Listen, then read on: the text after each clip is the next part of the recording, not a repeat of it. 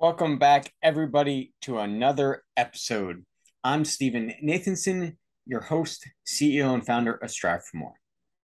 Today, we're going to talk about a little bit of a broad topic, organizationally and personally, in terms of personal development. What is it? What does it mean? As I said, it's a very, very broad topic. It can mean a lot of things. Specifically, it relates to our own individual growth how do we develop ourselves? How do we further our skill set? These are all very, very broad questions. What I found is typically, especially organizationally, we tend to focus on our quote unquote weaknesses. What's wrong? What needs to be fixed? What needs to be, say, coached to develop them? What needs to be essentially worked on as a last resort? Perhaps before we put somebody on a performance improvement plan right? It's kind of how it goes. That's one of the things that organizations typically do. Can we show that record of we've made these attempts to rehabilitate, if you will, somebody so that we can actually put them on that performance improvement plan or let them go? That's one way of looking at it. Know, I note that because a lot of times when we talk about personal development, it's negatively focused It's focused on what's wrong with me. Where are my weaknesses? But let's flip that script because what is more powerful than developing ourselves because we actually want to grow and get better in an area and something that we see as more positive, something that's more serving to us, or something that we're being forced into as something that's wrong with me. It's a weakness, something I have to correct. As you listen, which to you sounds like the more motivating and inspiring route to go. It's what serves us, what's positive. If we look at personal development in a non serving light of this is something that is wrong with me, it needs to get fixed, I will beat myself up. I will not give myself compassion or forgiveness and accept that change takes time because I want it to change instantaneously.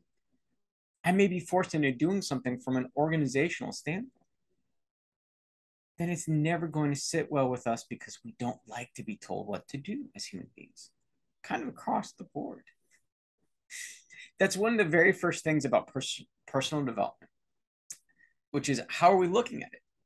Are we looking at it in a way where it's full of serving items that we want to grow in, or things that are non serving in terms of I'm being forced into this? You know, within that, let's hone in on what those areas are because it's very broad. Let's figure out what it is that we want to do. What do we want to continue to hone even further? What new skills, perhaps, do I want to develop? Where do I want to go with it? It can be very skill oriented. I would love to work on, say, time management, becoming more efficient with my time, becoming more pro- product productive, excuse me, or it could be, I want to work on networking, relationship building, or I want to advance my career. There's a lot of different things that we can focus on. What can help us determine what to do in terms of personal development is what's most important to us. What's the meaning behind it? The impact for it? What are we striving for? What do we ultimately want to get to? if I know that endpoint, that can often reveal what it is that we want to work on to get there. Work, again, it's typically skill oriented time management, productivity, efficiency, written communication, oral communication, presenting in executive presence.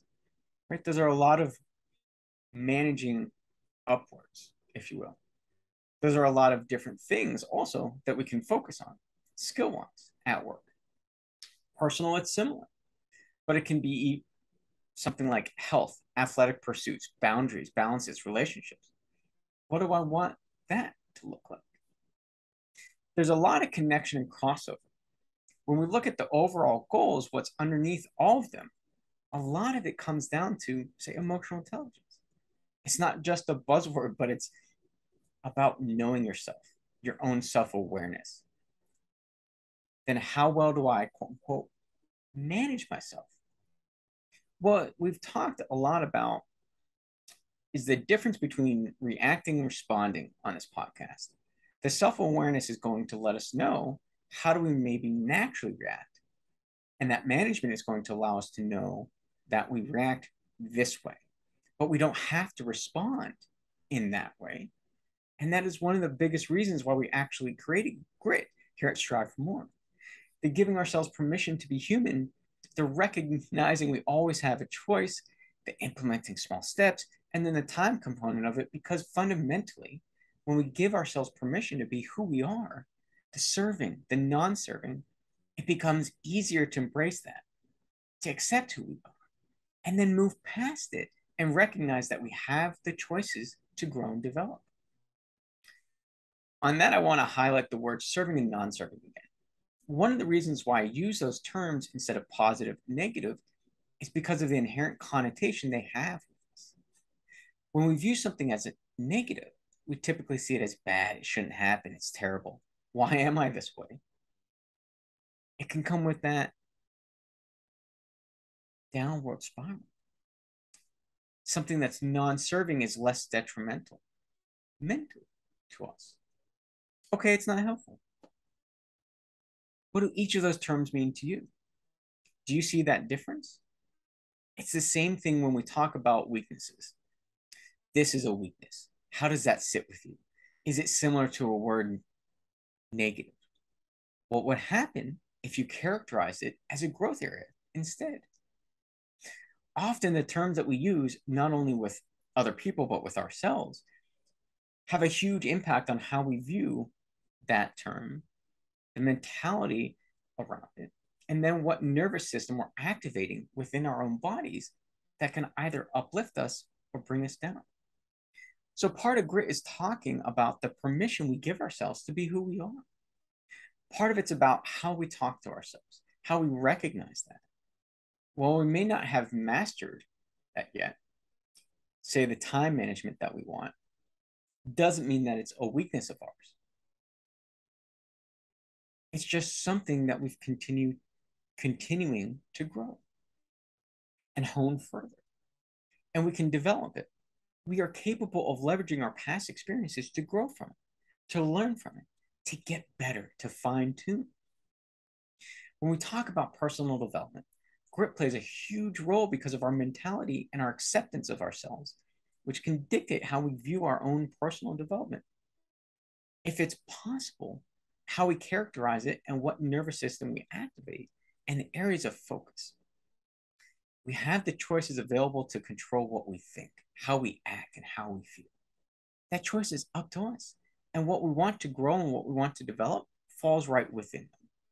We get to choose what to focus on, how to characterize it, the impact that growing in those areas are going to create for us, which is inherently going to motivate us to take action towards it you know, I'm less motivated to act on something that's forced upon me and I view as a negative. I am more motivated to act upon something that has intrinsic meaning and value to me and that I see is going to help me get to ultimately where I want to go. Personal development means something different to each of us. But if we use these tricks that we've talked about, we can actually shape it in a way that is much more serving, much more likely to actually cause us to take action because we know the value, we know the impact, and we're inherently motivated to work towards them. It starts with what's up here, how we think about it, how we characterize it. I'll stop there because there's a lot more we can dig into, but it branches into being very personalized. It takes a lot of one on one thought and conversations to help us unearth and then find those specific areas of actionable items for each of us. But within the topic today, let's recap. Personal development as a whole is incredibly broad. It can have a lot of different meaning for each of us, but it's all related to our growth and continuing to grow forward in growth areas versus, say, weaknesses.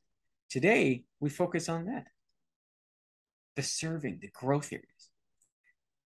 Excuse me, Today, we focus on the negative, the weaknesses. But if we flip that script, it is much more powerful for the growth areas, the serving, not only for us as individuals, but also as organizations. And the way we characterize it and the culture we have internally that can disengage employees or actually engage them, that's a big part of this too. That's a side effect. We're going to talk a little bit more about that in some upcoming episodes. So, how are we viewing it? What goes into our own personal development? How are we characterizing it? And do we know what's in it for us? There's a lot of different ways we can slice it. Again, it's very personal. But I'll leave you with those questions of how you view it, what's in it for you, what are you striving towards, how do you characterize it, what self talk comes into play for you. Do you think things are possible? These are all great questions to understand, considering all the areas around which we want to grow. So until the next time, remember if we never ask, we'll never know. If we never try, we never will. Be the movement in your life.